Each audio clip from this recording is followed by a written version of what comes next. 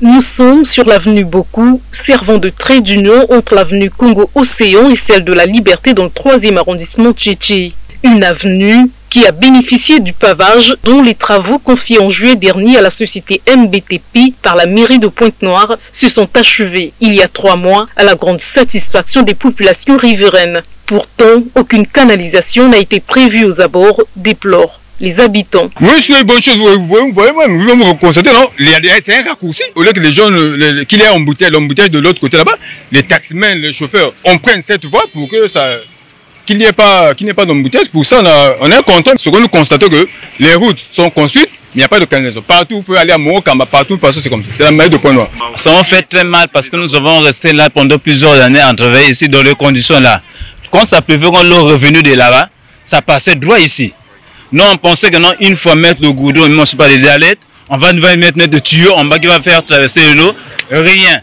On nous a dit que non, laissons-nous travailler, à la fin, on verra le résultat du travail. On croyait que peut-être il y aura des canivons qui vont conduire l'eau là-bas pour aller tomber dans les zones qui sont là-bas pour aller directement dans le marigot aussi.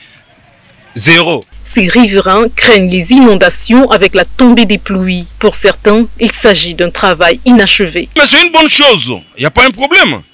Mais le malheur que la manière que la population veut que ça soit, mais c'est pas ça qu'on a, fait. Ça, c'est une petite pluie seulement. Regardez seulement comment. Déjà, les propriétaires, les, quatre maisons qui sont après là, c'est des gens qui vont souffrir. Le travail a été inachevé. On, suppose qu'ils ont fait le premier pas, ils ont rangé, ils ont mis les delettes, mais c'est la mairie de passer pour voir si réellement ils ont mis les canalisations. Parce que vous voyez vous-même, il n'y a, pas, a pas les canalisations. On suppose qu'on dirait les pluies, ça va s'inonder. D'autres estiment qu'il est inconcevable qu'un plan d'aménagement d'une telle avenue n'ait pas prévu de canalisation. Ils lancent ainsi un appel à l'endroit de la municipalité. Notre souhait, c'est que la mairie vienne d'abord, descendre sur le terrain, voir, comme il n'y a pas de canalisation, c'est à eux de trouver euh, une variante pour dire que non, comme il n'y a pas de canalisation, créons une voie d'eau qui va euh, évacuer l'eau et conduira le plus.